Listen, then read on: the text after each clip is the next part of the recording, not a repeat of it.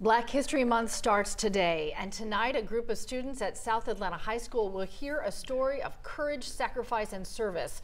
The story of the Montford Point Marines, the 1st Black Battalion.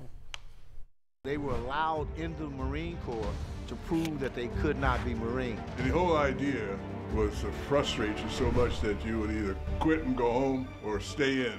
I wasn't about to quit. They were the best and the toughest. 20,000 black Marines who fought to go first and create opportunities for others.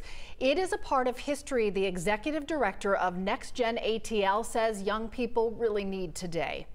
I mean, there's a lot that flies in the faces of uh, our educators, our, our young men and women. We have to confront that reality. We have to really tap into our inner strength and, and, and their inner strength and brilliance to uh, push forward and know that they're not doing it alone. Tonight, Next Gen students and their families will be part of a special screening and audience at the South Atlanta High School for that new Montford Point Marines documentary. And coming up in our next half hour, the search for thousands of Montford Marines and their surviving family members so they can finally receive a long awaited honor.